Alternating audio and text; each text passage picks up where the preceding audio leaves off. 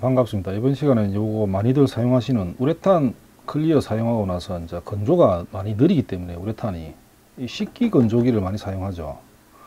보통 많이 사용하는 게 뭐 쿠쿠, 쿠쿠입니까? 저는 다른 다른 제품인데 보통 가격대가 좀 저가형을 많이 쓰죠. 그죠? 4만원에서 한 6만원 정도 그 정도 가격이죠.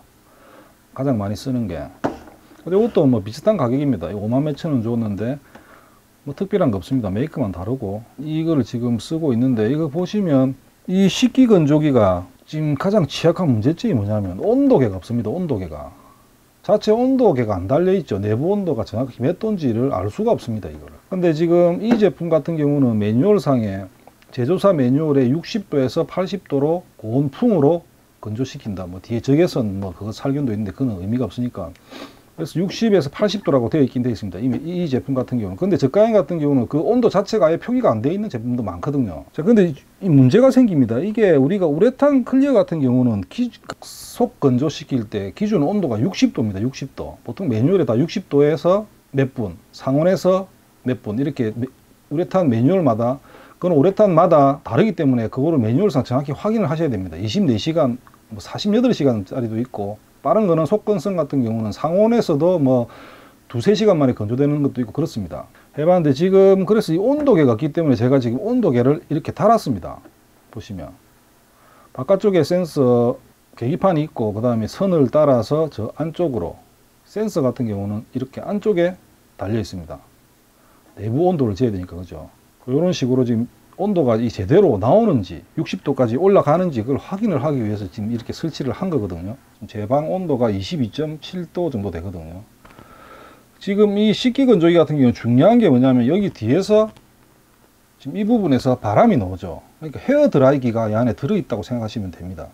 와트 수가 약한 헤어 드라이기. 보통 지금 이 가격대가 제가 확인을 해보니까 250W에서 400W 사이입니다. 그러니까 열이 그렇게 강하지가 못하죠. 그 정도 수준이거든요. 그 정도 수준의 와트 수인데 만약에 이거를 지금 겨울철 같은 경우는 저 베란다 같은 추운 데서 이걸 쓰시는 분들이 분들도 계시죠. 그러면 문제가 생깁니다. 이게 항상 바람이 나온다는 것은 어디론가 바람을 밖에 있는 바람을 끌어들여서 그거를 데워서 안으로 쏘는 거거든요. 근데 밖에 있는 공기가 너무 차오면 어떻게 되겠습니까? 열을 못 올립니다, 이게 기계가.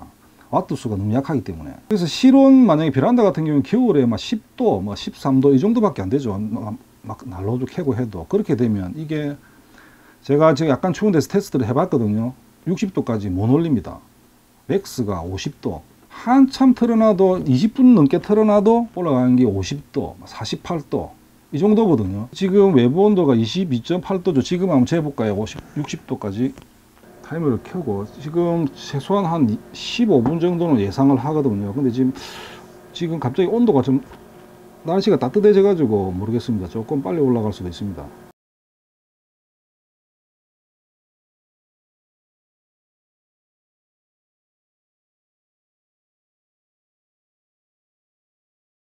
자 보시면 한참 돌아가고 있는데 8분 20초인데 지금 52도밖에 안 됐습니다 아직. 상온이 거의 23도 23도 실내에서 작동을 시켜도 지금 60도까지 가는데 거의 10분이 넘어가야 될 겁니다. 15분에서 20분 걸릴 겁니다 아마. 60도까지 찍는데. 조금씩 올라가긴 올라가거든요. 지금 52.6도 좀 하고. 그래서 제가 지금 말씀드리려고 하는 게 뭐냐면 이 영상을 찍는 게 이거를 100% 믿으면 안 됩니다. 그 우레탄 매뉴얼 상에 좀 끄겠습니다. 시끄러워서. 그래서 만약에 그 매뉴얼에 60도에서 2시간이다. 뭐 이렇게 돼 있다고 해서 여기 딱 넣자마자 스위치 누르고 2시간 후에 꺼내서 꾹꾹 만지면 사달랍니다. 그거. 그래서 가장 우레탄 클리어 사용하시고 건조가 됐는지 확인하는 가장 좋은 방법은 그겁니다. 일단 부품에 도색을 다 하죠. 마감을 하고 그 다음에 다른 뭐 정크 부품이나 숟가락 이런 데다가 똑같은 두께로 똑같이 뿌려둡니다. 한 개를. 그래서 같이 건조를 시키는 거죠. 안에 넣어서 건조하든 밖에서 빼서 상온에서 건조하든. 그렇게 해가지고 그 매뉴얼대로 일단은 건조를 시키고 우레탄 매뉴얼대로 건조를 시키고 그 정크 부품이나 숟가락에 칠한 거 있죠. 그거를 눌러보면 됩니다.